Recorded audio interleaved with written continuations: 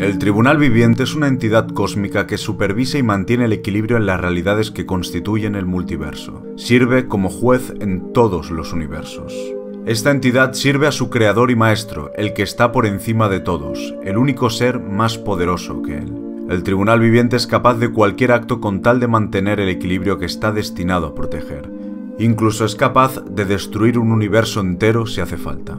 Es parte de un grupo de entidades cósmicas que se compone de eternidad, infinito, muerte, Galactus, el vigilante, los celestiales, entre otros, seres sometidos todos ellos a la autoridad del tribunal viviente.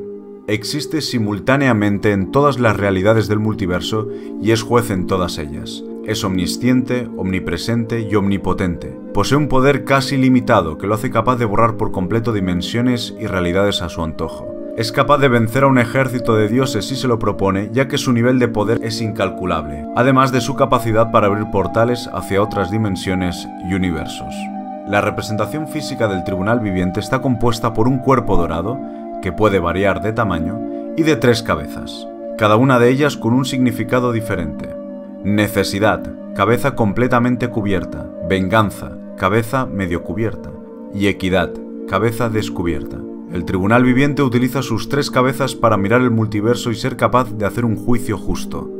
Además, sus tres cabezas son capaces de ver el futuro, presente y pasado. Para llegar a una sentencia, el tribunal debe alcanzar un consenso entre las tres cabezas.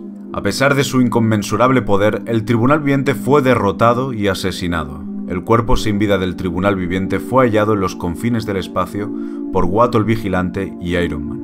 La causa de la muerte del Tribunal Viviente fue una violenta batalla contra los Beyonders, en el último intento de restablecer el equilibrio en el multiverso. Los Beyonders son una raza de entidades extradimensionales inmensamente poderosa, capaz de crear universos enteros y manipularlos a su voluntad. Tras los eventos de remodelación del multiverso, una versión alternativa de Adam Warlock, la de Tierra 19141, fue elegido por el que está por encima de todos, asumiendo el título y las obligaciones del tribunal viviente, convirtiéndose así en su sucesor.